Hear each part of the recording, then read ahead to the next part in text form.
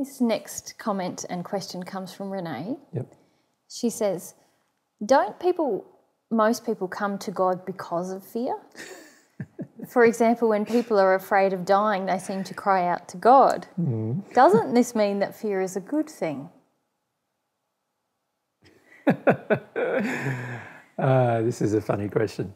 Uh, fear is not a good thing ever, including if it motivates you to come to God because of it. Because if you're coming to God because of fear, you don't understand God at all. Mm-hmm. Mm-hmm. Because God doesn't respond to your fear. God responds to love, God responds to desire for truth. God doesn't respond to your fear. Yeah. So a lot of people do uh, come to so-called come to God because of fear, but they don't have a relationship with God, mm-hmm. right? And they never will, because when you come to God because of fear, you're not going to God at all. God, God doesn't honour your fear. God doesn't, you know, want you to live in it, mm-hmm. and God knows that your fear is actually an emotion you just need to feel. So when you when your fear motivates you to go to God, then you're not really going to God at all, at all. Hmm. Now that is in direct contrast with what half the world's religions will teach you, but the reality is God is not interested in people who come to God out of fear. Mm-hmm. God's interested in people who come to God out of desire. Mm-hmm. That's why a person who's in fear, whether it's of God or of what's about to happen to them because of God's creations, Yeah. um, will never receive God's love because God does not respond to fear at all. So, so you can tell yourself that you came to God because of fear. You didn't, right? You didn't come to God because of fear because you, there's no such God that responds to it. you, you come to some imaginary God because of fear. Yeah.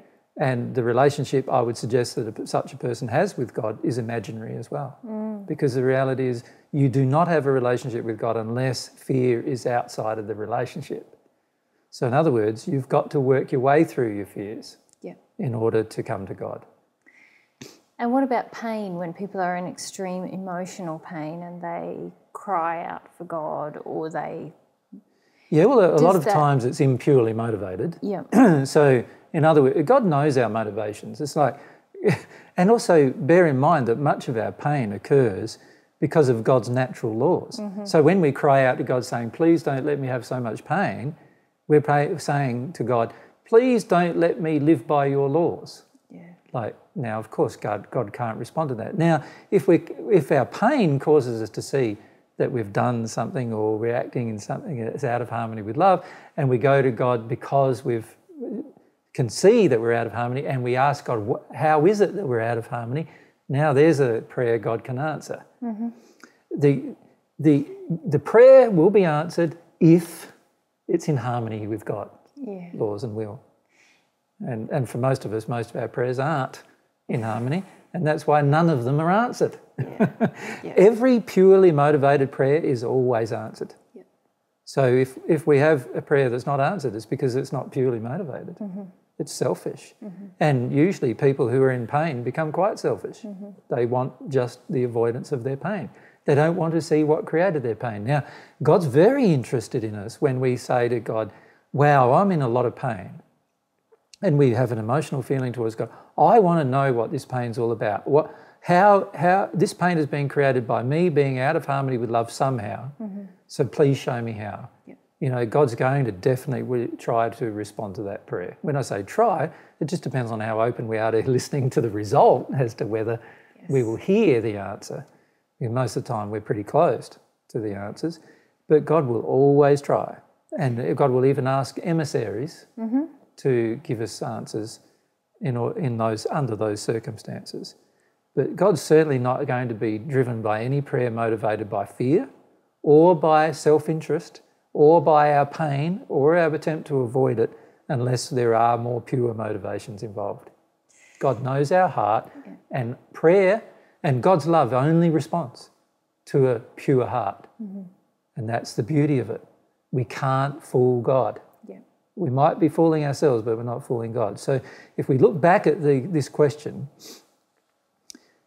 basically, Renee is, uh, basically believes that she perhaps has been brought to truth by being afraid of God. No, you haven't. You haven't absorbed any truth at all if you're afraid of God. Or being afraid of other Or being things. afraid of other things. You haven't absorbed any truth then either, Yeah.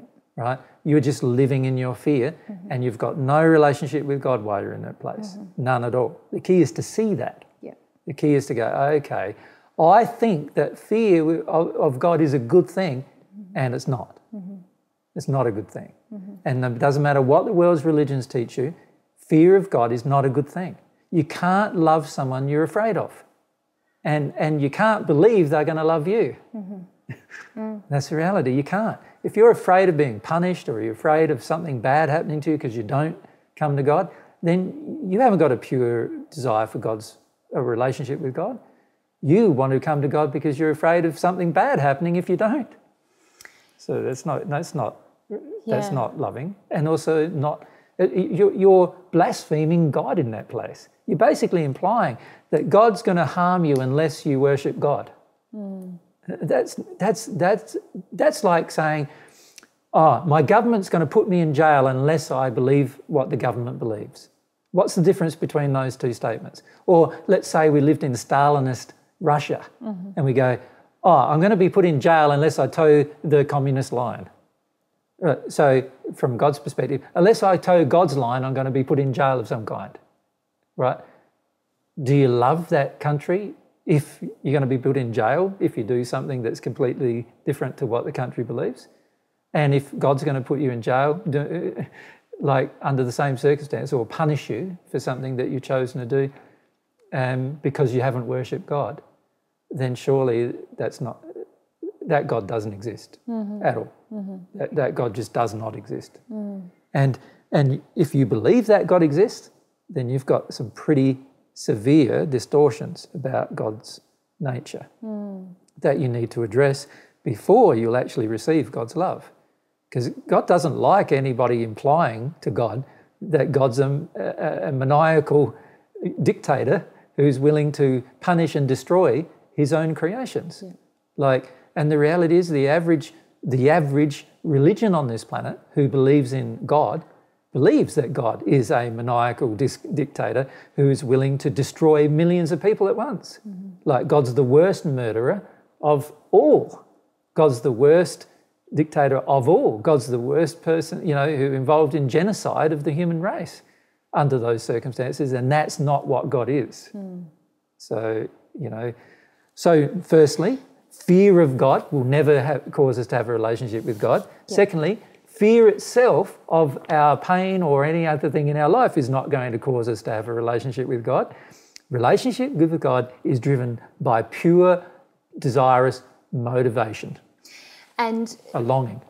a longing, and it's not a longing to avoid our pain or ourselves or no. our fear. And that's really what I felt Renee was getting at. That Totally. her desire to escape her pain and her fear is what brought her to God. Yes. And, And that's not a pure motivation, and it hasn't brought her to God. I know this, Renee. Yeah. And she is not yet with God. Yes. And in, in any way. Yeah. She's not even begun her relationship with God yet because she, one of the main reasons is because she has this belief Yeah. that somehow her fear of her own pain can bring her to God. No, Mm-hmm. it cannot. You need to have, have no fear of your pain to, bring, to go to God. well, to connect to God, don't you? Yeah, You- God you knows that you to. have no need to fear your pain. Yeah. To connect to God, you're going to have to have no fear of your pain. Mm. That's the reality. And you're going to need to let yourself feel it. And fear shouldn't be the driving force of any relationship, let alone your relationship with God. Yeah, And if fear is a driving force in any relationship, it's never going to be a good relationship, ever. And that includes your relationship with God. Yep. You're going to believe God to be something God is not, which is actually blasphemous to God's character and nature. It's blasphemous to God's personality.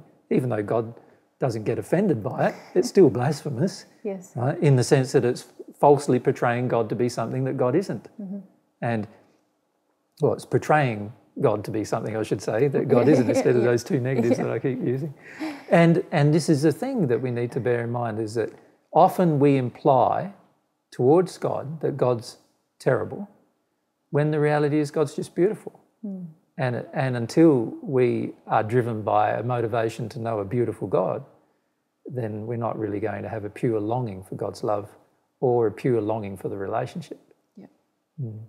So I, I disagree completely with her. No, anybody who says that fear has brought them to God, it has not brought you to God. It's brought you to a figment of your own imagination, which is not God. And any feelings you have from that figment of imagination probably come from spirits that, who, with whom you're in codependent addiction. It's not from God. Because mm-hmm. God cannot connect to a person who has false beliefs about God and who wants to retain them and only wants to come to God for self interest. Mm. Thank you. Very comprehensive.